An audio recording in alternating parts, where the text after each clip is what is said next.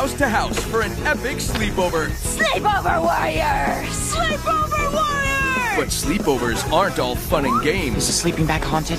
No, we got rid of that one. There's danger around every corner. Ah! It's the ultimate sleepover showdown.